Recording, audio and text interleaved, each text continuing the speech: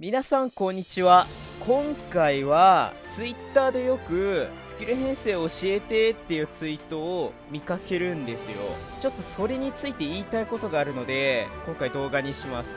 例えば片手直剣のスキル編成教えてっていう人で例えばですけどよくあるのがこうやってスキルレコードってメニューアイテムスキルレコードって言ってで、で、これ右上に絞り込みボタンあるじゃないですか。これ押して、で、片手直剣って押すじゃないですか。で、敵をって押すじゃないですか。片手直剣のスキル編成教えてっていう人、まず、こういう片手直剣のスキル見せるのに、これ Twitter に載せるのに、こうやってスクショ撮って、で、こうやって、あの、片手直剣のこのスキル、こうやって画像を撮るじゃないですか。スクリーンショット。で、2ページ目行って、こうやって画像を撮ってってやるじゃないですか。で、ここまでは全然いいんですよ、ここまでは。で、これ撮って、で、まあ3枚目もね、こうやって撮ってってまあやるんですけど、この後ね、片手直剣の編成だから、まああとはアビリティ見せればいいや、みたいな感じでこうやってアビリティさ、こうやって画像撮っ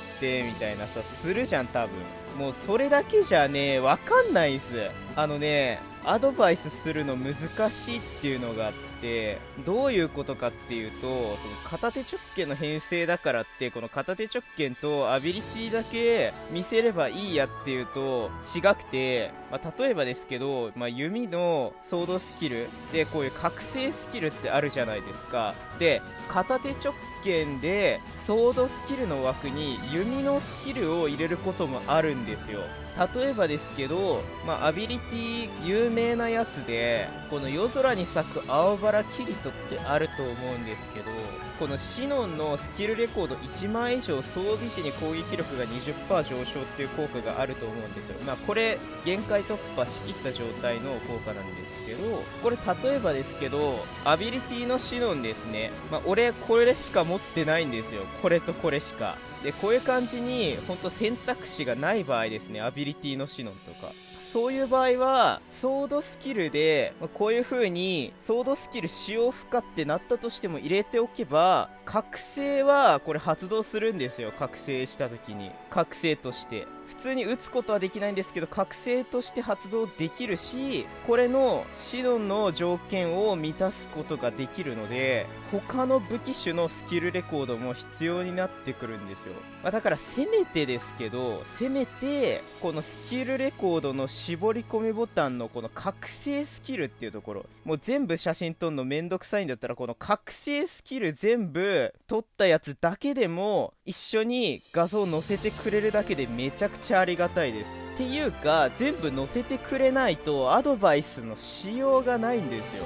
まあ、このなるべくソードスキル使用不可にならない方が理想的なんですけど、やっぱみんなその持ってるスキルにもよるので、どうしてもこうやって使用不可にしてでも条件を満たした方が強いっていう場面もかなり多いので、で、なんか最近あったんですけど、まあ、片手直剣のスキル編成教えてって言われたんですけど、なんか何のボスを倒すためのスキル編成なのかって聞いたんですけど、なんかあんまりいい返答が来なくて、テンプレ編成聞きたいんですかって聞いたら、まあそうって言われたから、まあ大体組んだんですけど、いつだったか動画にしたんですけど、スキル編成にテンプレなんてないみたいな。まあテンプレ作ろうと思えば作れるんですけど、最適解というか一番ダメージが出る編成にはならないことが多い。みたいな感じのね、内容。大体そんな感じのことを言った気がするんで、言ったというか動画で、あの、話してるね、動画をやったんですけど、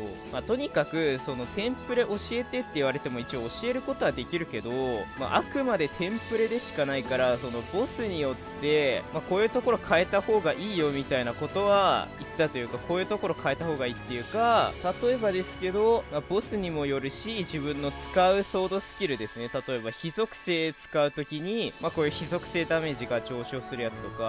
いろいろその状況によって変わってくるんですよ。まあでもとにかく今日一番言いたかったのは、このスキル編成教えてって言った時に、必ずこの、例えばその直剣の編成組んでほしいって思ったら、この直剣の絞り込みで撮った画像と、アビリティで撮った画像と、せめてこの覚醒スキルで絞ったやつも見せてくれると、まあありがたいかなっていう感じなんですよね。あ、これいつの間にか絞り込みこれ装着可能っていういうところできてたんですね。知らなかった。言いたいことは大体それくらいです。ご視聴ありがとうございました。チャンネル登録してもらえると次の動画作りのやる気が出ます。それでは皆さん、さらさら。